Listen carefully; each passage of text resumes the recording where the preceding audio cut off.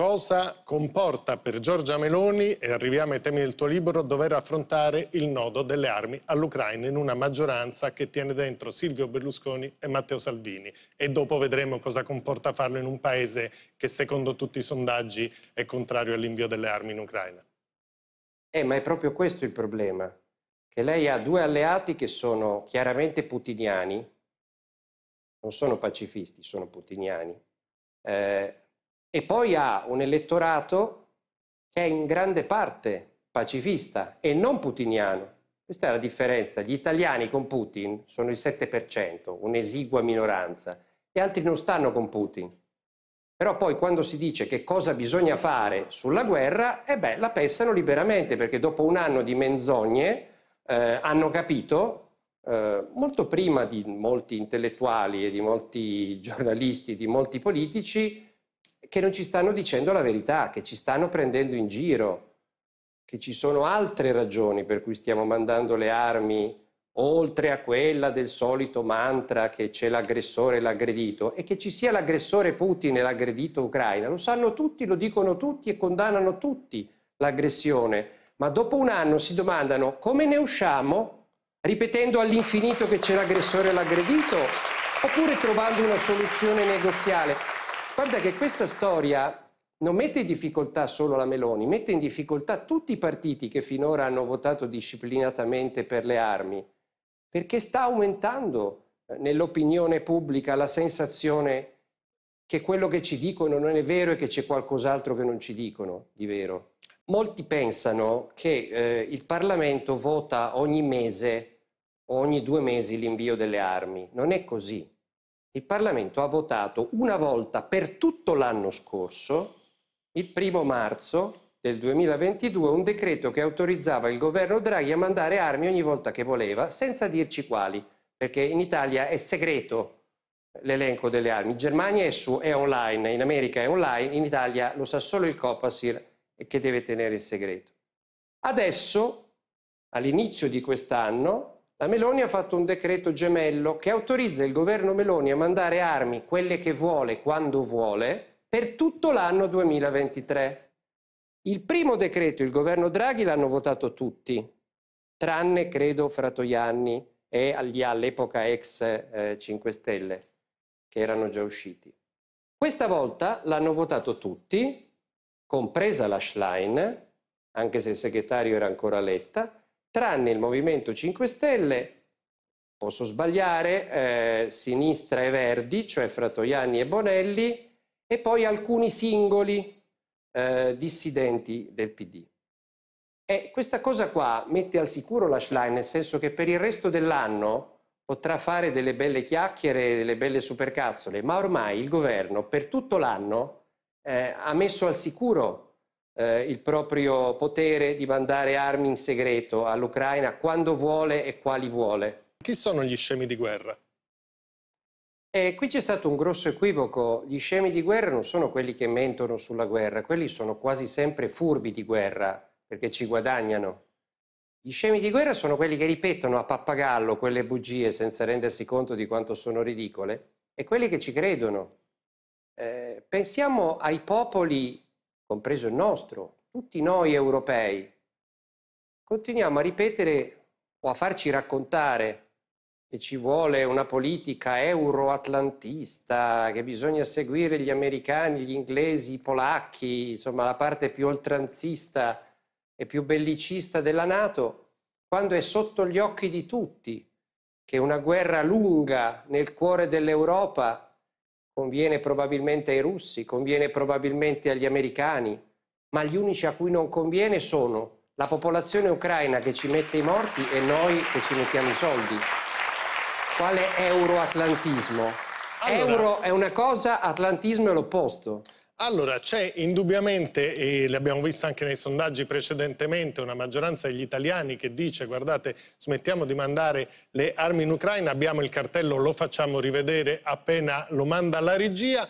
C'è un dubbio però, come mai gli italiani contrari alle armi, ecco guardate, questo è l'Ipsos per il Corriere della Sera, favorevole all'invio di armi in Ucraina, no 45%, sì 34%, però poi quando vanno a votare gli italiani, anche nelle ultime elezioni, confermano la fiducia ai partiti più fortemente orientati per la, uh, il mandare le armi per Giorgia Meloni, per Fratelli Italia. Gli italiani ragionano in un modo fuori dalle urne e in un modo dentro le urne. Semplicemente quando vanno a votare le elezioni italiane non vanno a votare sull'Ucraina e sulla Russia. Sono i nostri giornali che per mesi ci hanno detto che chi votava in un certo modo favoriva Putin e chi votava in un altro favoriva Zelensky. Gli italiani quando vanno a votare pensano ai loro interessi, non pensano all'Ucraina o alla Russia. Allora... Dopodiché, prego, dopodiché prego. hanno premiato il partito che stava all'opposizione di Draghi, evidentemente speravano che una volta andato al governo facesse qualcosa di diverso, non che facesse proprio le stesse cose sulle cose fondamentali. Allora andiamo a vedere nel concreto gli atteggiamenti di un governo eh, a favore dell'invio delle armi. Dice Giorgia Meloni, cartello 42, l'ha detto ieri da Bruno Vespa, nella trasmissione di Bruno Vespa, non spendiamo soldi per comprare le armi, abbiamo già armi che riteniamo di non dover utilizzare, quindi la cosa è a costo zero per Giorgia Meloni. È vero quello che dice e perché lo dice dal tuo punto di vista? Non è vero assolutamente, perché se noi mandiamo sistemi di armamento come il SAMP-T che mandiamo adesso, che è un sistema eh, diciamo contraereo, ehm, eh, dobbiamo sostituirlo perché non ce l'abbiamo più e prima ce l'avevamo in dotazione. Eh, infatti stiamo moltiplicando la spesa militare eh, basta sentire le audizioni che il ministro della difesa o della guerra Crosetto eh, ha fatto in commissioni eh, dove ha detto che bisogna aumentare la spesa militare e anche in quello ha ripreso Draghi là dove era stato stoppato da Conte un anno fa, portare al più presto la spesa militare verso la quota del 2% del PIL annuo, il che significa per noi spendere ogni anno una quindicina di miliardi in più rispetto a quello che spendiamo adesso. Altro che nessun costo per le, dei, per le tasche degli italiani. 15 miliardi in un momento in cui non abbiamo nemmeno gli occhi per piangere, è una follia. Infatti allora. il Papa disse che i governi che aumentano la spesa militare al 2% del PIL sono pazzi.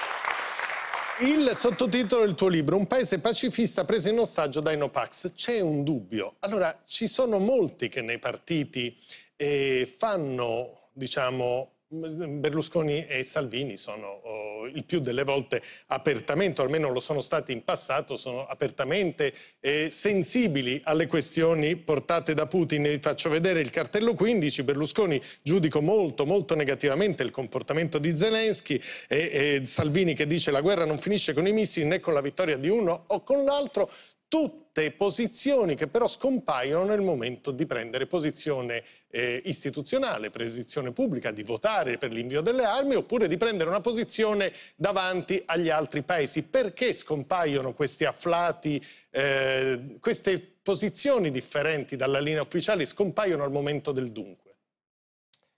È per quello che ti dico che non sono pacifisti ma sono putiniani perché quando parlano sembra che debbano dare qualche rassicurazione e qualche messaggio a Putin. Dopodiché, quando si tratta di scegliere se far cadere il governo e quindi perdere le poltrone che hanno sotto le terga oppure no, decidono che è meglio di no e quindi eh, alla fine votano. Però è chiaro che quando Berlusconi e Salvini parlano non c'è soltanto il loro putinismo, per me inaccettabile, eh, ma c'è anche eh, diciamo, quel radar che i politici più, eh, più sensibili hanno nei confronti di un'opinione pubblica che secondo me in maniera crescente manifesta insofferenza e nello stesso tempo incredulità rispetto al fatto che dopo un anno siamo ancora qui a ripetere gli stessi mantra, a mandare le stesse armi senza sapere dove andremo a finire, allora, qual è lo sbocco, qual è la strategia. Ti faccio... Perché c'è un grande rimosso che si chiama nucleare, che nessun opinionista nomina mai perché improvvisamente hanno deciso che Putin, che fino all'altro giorno era pazzo, adesso è talmente saggio che non, non userà il nucleare. Quindi secondo me sopravvalutano un po' la saggezza di Putin,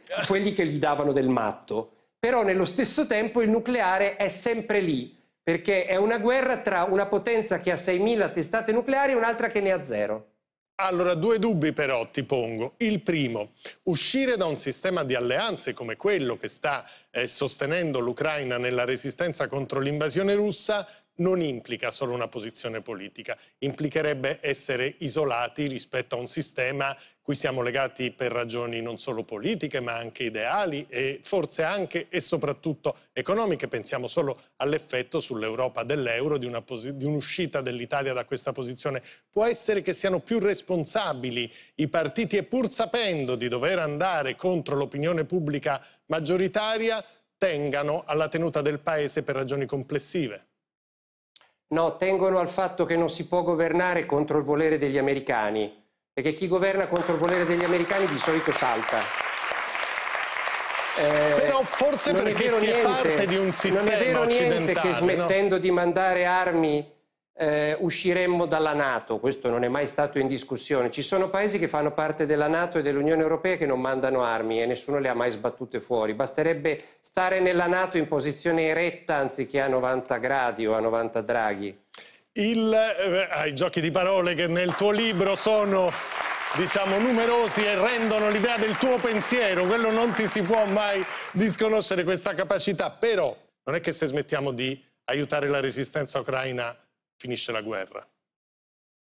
Ma nessuno ha mai detto una sciocchezza del genere.